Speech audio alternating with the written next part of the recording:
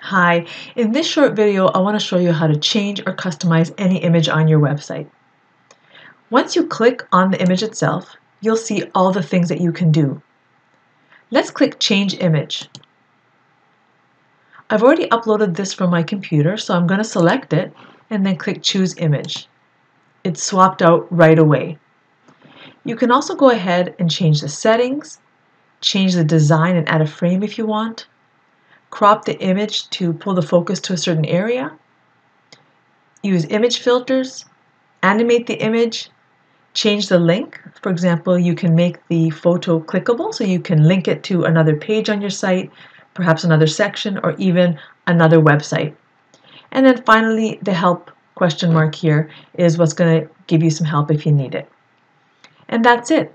So simply click on the image, up pops your options, and you'll be able to change the images as you need to. Hope you enjoyed this video. Take care.